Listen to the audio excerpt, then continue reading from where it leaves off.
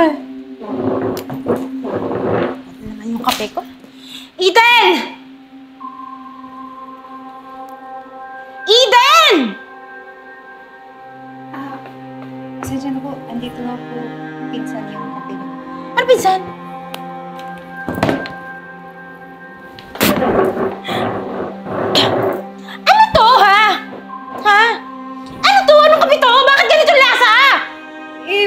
Pinsan niya naman po yung binigay niyo na timpla sa akin. Palagi ko naman yung tinitimpla na sa inyo eh.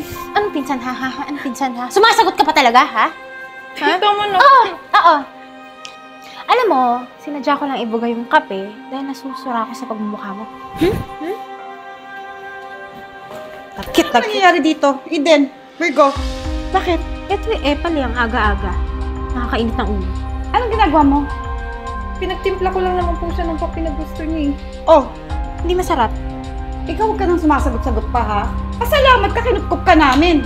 At dito ka nakatira, kundi dahil sa kapatid ko, hindi ka namin patitirahin dito. Kaya umayos-ayos ka, tsaka pwede mo umulahin. Tawag mo sa amin, madam. Yes. Ha?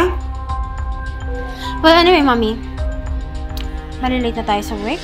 So, let's go. Iwanan mo na yung chimay na yan.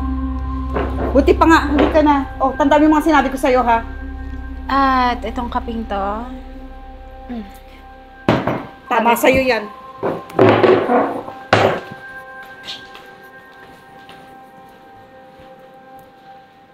Hoy, hoy, hoy, hoy, Eden! Ano yung drama-drama mo? Iyak ka na iyak! Hindi mo ba alam kahit anong iyak at drama yung gawin mo, hindi na mabubuhay ang tatay mo, matagal nang nakalibing yon. Kala mo bang bangon pa sa hukay yun? Isipin mo mabuti ha, isa ka ng hampas lupa. Hindi ako magiging hampas daw pa. Bakit ito na time pinamana to niya sa akin? Kayo dapat yung may utang na loob sa akin. Ah, magago ka talaga, no? Bastos ka! Kung di ba naman tanga yung tatay mo, ha? Lahat ng pera sa bako binigay sa charity. Kaya kung ako sa'yo, linisin mo tong buong bahay, ha? At darating yung kaibigan ni Virgo na mag-aahente dito sa bahay para benta na to. Lubog na tayo sa utang, hindi mo ba alam? Kaya linisin mo na to, ha? Puro ka iyak dyan. Arte-arte mo. So, Francis, what do you think about the house? Ako, Virgo, napakaganda talaga ng bahay. Tsaka sigurado ako, ang gustuhan ng kliyente ko to. Oo naman. Well, that's good. Uh, for sure. Kukunin niya rin to. Well, anyway, asan na ba siya para makapagpapirmahan na tayo ng mga papeles? Ah, pala, antayin na lang natin yung bibili ng bahay. Kasi, medyo traffic kasi. Anong oras na? Baka mababuso na kami ng pasensya sa kahihintay dyan sa kliyente mo. Oo nga. Alam mo, ganito na lang.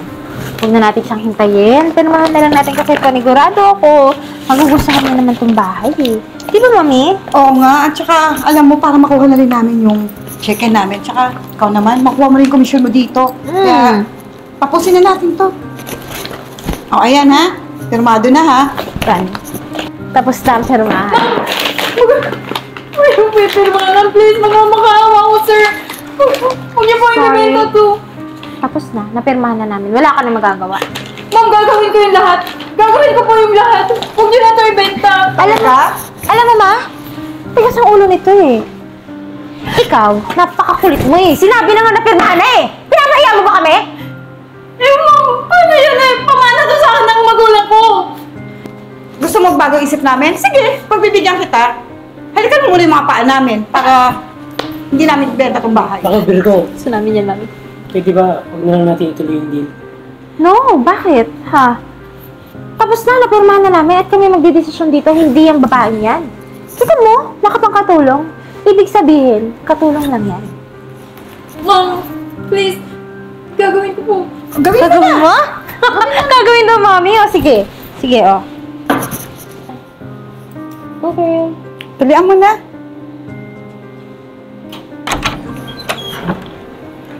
Tay, Kumusta ang magagamit kong kapatid?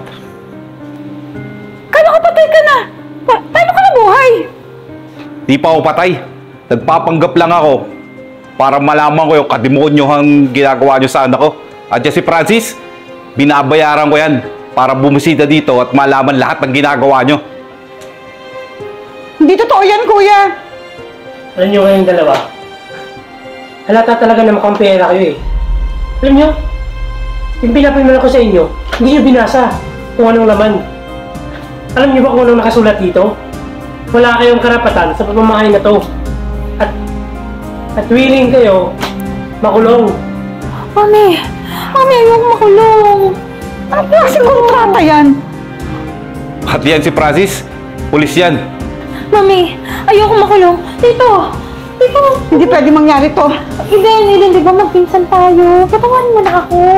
Simpleng away lang naman yun eh. Patawarin, ha? Papatawarin ko kayo dalawa. Hindi. Sapat na yun. Sapat na yun sa mga ginawa niyo sa akin. Kaya deserve yung makulong habang buhay. Kuya! Maawa ka naman sa amin! Sige na sir, damputin nyo na tong dalawang to. Huwag na mo! Mama na kayo, ma'am. Mami!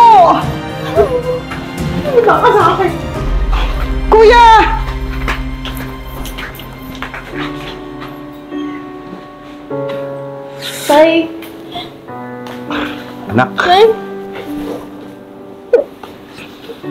anak. Sana mapatawad mo ako ah. Alam mo, sisisihan yung ginawa ko eh. Yun, magpanggap na patay kasi araw-araw kong nalalaman na kung paano kanila minamaltrato. Pero yun lang kasi yung paraan para malaman natin kung kung ano yung ginagawa nila sa inyo. Kung, kung saan niya dinala yung mga pera natin. Uunawaan ko na yung lahat. Bakit mo nagawa yun? At huwag po kayong mag-alala. Dahil wala akong sama ng loob sa inyo. Maraming salamat anak. Hayaan mo anak, simula ngayon wala na mga api sa'yo. At ah, pinapangako ko na babawi ako sa'yo. Salamat anak. Salamat, Tay. Ang saya-saya ko.